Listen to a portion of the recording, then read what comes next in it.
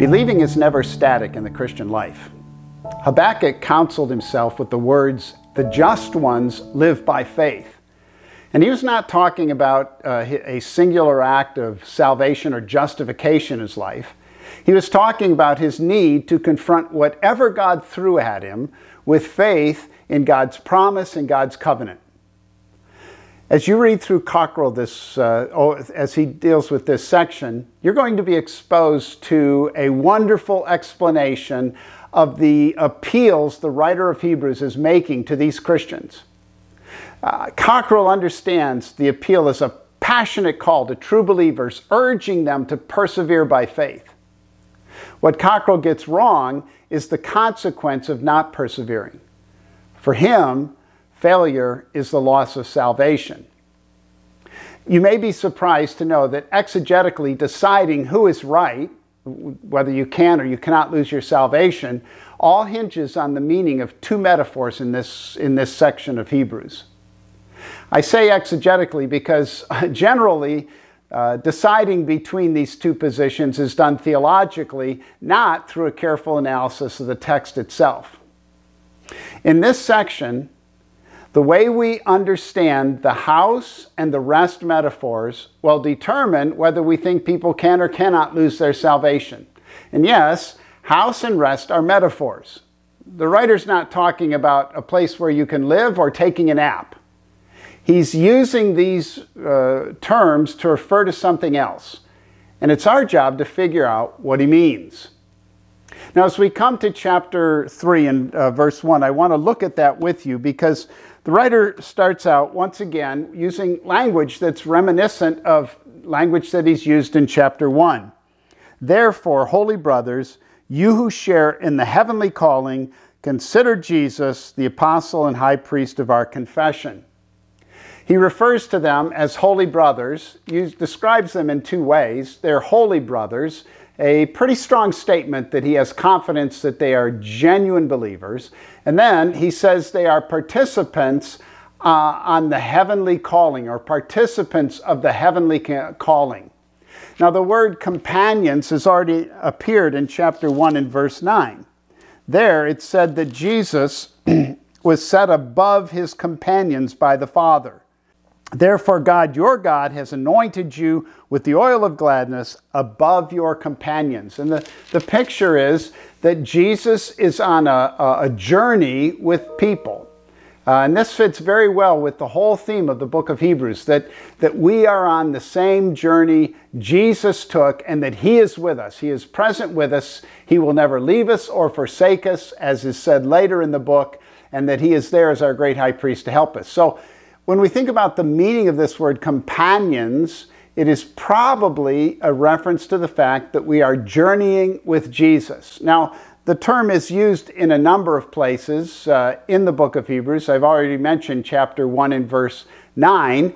It's also uh, in, used again in verse uh, 14 of chapter 3, where it says, For we have come to share with Christ, or literally, we have been companions with Christ if indeed we hold our original confidence firm to the end. Uh, the attempt is often made to read the Pauline doctrine of being in Christ uh, into this passage, but the concept of being united to the cosmic Christ, uh, being united in the body of Christ, is not a part of the author of Hebrews' argument. That is definitely uh, something that is read out of Pauline theology into the book of Hebrews.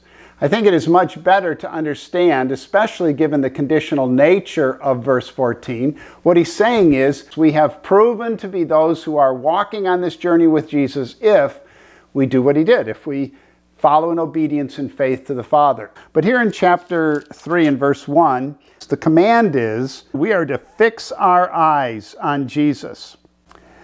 Consider Jesus. Very strong term, and it is, is also used at various places in the letter. Fix your eyes on Jesus. It means to contemplate or to consider uh, intently. He tells us what it is about Jesus that we're supposed to consider. He doesn't say consider his eternality. He doesn't necessarily say consider all of the things we've just talked about in chapters 1 and 2, though one of them is related to where he finishes chapter 2. He tells us exactly what we're supposed to think about with reference to Jesus. He uses two terms the apostle and high priest of our confession. Now, those are important terms because uh, actually the word apostle is nowhere else used in the New Testament as a title for Jesus. The writer of the Gospel of John uses the verbal form of this word to describe the Father sending Jesus, but uh, nowhere is the word apostle used as a title of Jesus except here. And I think it's significant for what the writer is saying. Apostle and high priest talk about the mission that Jesus has. Uh, in chapter 2, he's already told us in verse uh, 17 that he is a faithful high priest in service to God. Uh, that was a part of his mission to make propitiation for the sins of the people. That was his mission. And so the writer now is telling us all right, think about Jesus in terms of his mission. That was significant for the, for the Hebrews because they were on a mission too. They were companions with Jesus in this mission, and the likelihood, as we're going to see as we move through the, the, this section, the likelihood is that they are going to break faith with God and fail in their mission. So, right off the bat, think about Jesus in terms of his mission.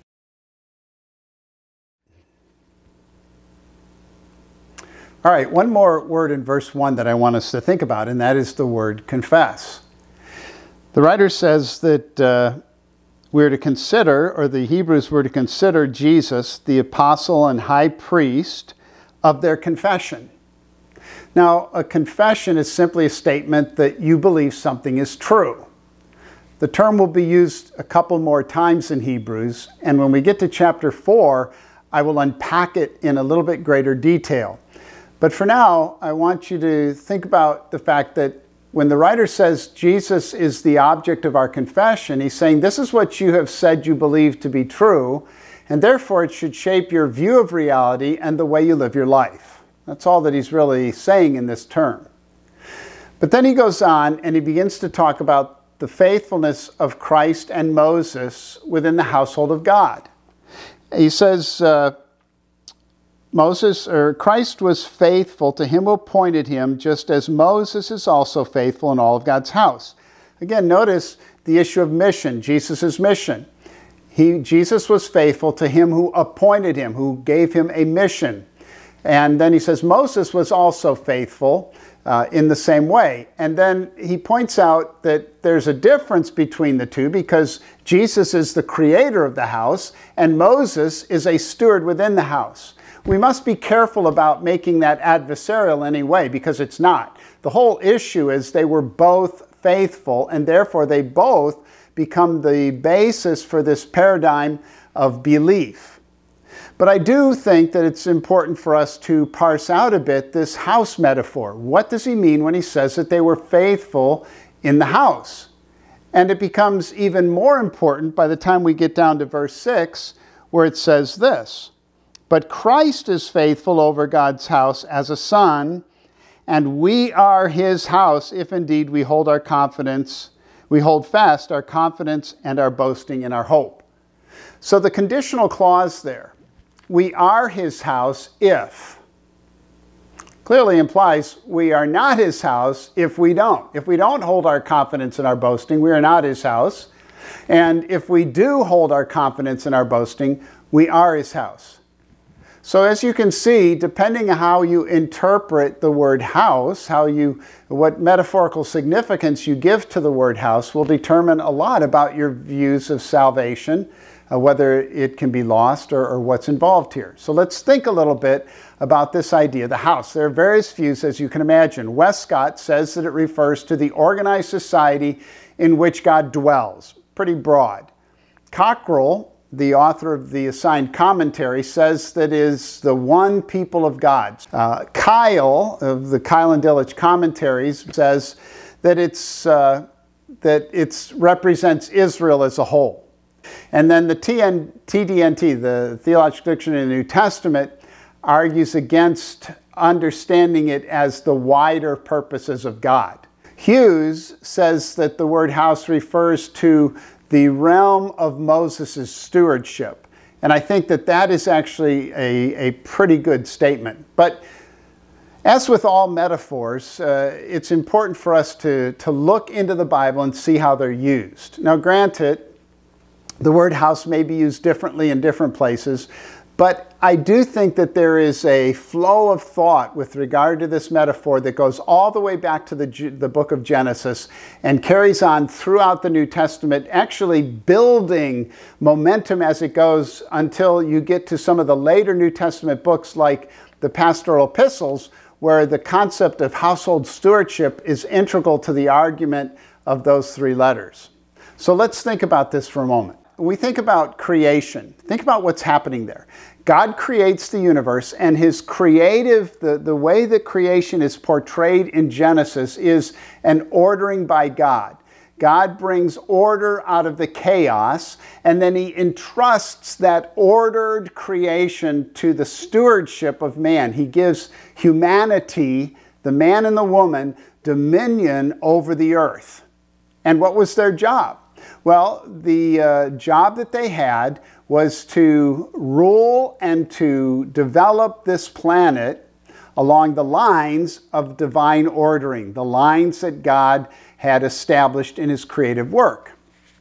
Uh, you travel on through the book of Genesis, and it isn't very long in Genesis 6 where it says of humanity, um, God says this in Genesis 6:13, I have determined to make an end of all flesh, for the earth is filled with violence through them. So think about that. God created the planet, He ordered it, brought order out of the chaos. He entrusts it to the stewardship of humanity. And what does humanity do? They fill the earth not with God's glory, but they fill the earth with violence. And, and so we see here a, a breaking with this whole concept of what the stewardship of, of human beings was supposed to be. We come to uh, the times of Abraham, and in the days of Abraham, uh, there are references to the household of Abraham. Uh, when Abraham talked with God in Genesis chapter 15, he was concerned that a servant within his household would inherit his whole house. Now, of course, that was more than just the people of his house. That was everything that pertained to Abraham, and not only that, all of the influence that Abraham had. He would pick up the Abrahamic brand, as it were, and he would, he would own all of that we come to, to numbers. And again, as I said, the, the basic idea here that, that Hughes points out is that it's uh, the sphere of Moses' stewardship. Moses was faithful in all my house. Now remember, Moses was the fountainhead of divine revelation. Uh, there's a great emphasis in the book of uh, Numbers and Exodus on the ordering of God. Even Hebrews picks up on this, and it says that everything was built exactly to the pattern that God had given. Moses was faithful to God's house because he ordered everything the way God revealed it should be ordered we move on in the Old Testament and we come to uh, the house of David and the house of Saul. When you look at 2 Samuel 3 1 to 6 and 2 Samuel 7 11, where it speaks about the house of David and the house of Abraham or Saul, it's very clear that it's not talking about an institution, an organization, a location, or a physical structure of any sort. Rather, what's involved here is the influence associated with the name of David and Saul. Now, obviously, that involved all those other things, but, but ultimately, uh, it involved the, the growth of the influence of David and the growth of the influence of Saul. So in chapter 2 or chapter 2 Samuel chapter 3 verses 1 to 6 when it talks about David's house growing and Saul's house diminishing, it's not simply talking about the number of physical descendants in the house of David or the number of physical descendants in the house of Saul. Rather, it's talking about the level of influence attached to David and his itinerary or, and, and his agenda. David and everything that he stood for, that was growing in influence. Okay, let's draw a few conclusions about the significance of this uh, house metaphor. First of all, the house of God is not the family of God, uh, nor is it the tabernacle. Those things may be ex, uh, part of giving expression to the house of God, but they do not totally define uh, the meaning of the metaphor. The house is the structure through which God desires to accomplish his will in an age. Just as the will of David or of Saul or of Abraham were accomplished through his house, they were the platform for the realization of the agenda of that householder. They were governed by the ordering of that householder. So, um, the house is whatever structure that exists for the realization of God's will, God's ordering in the world.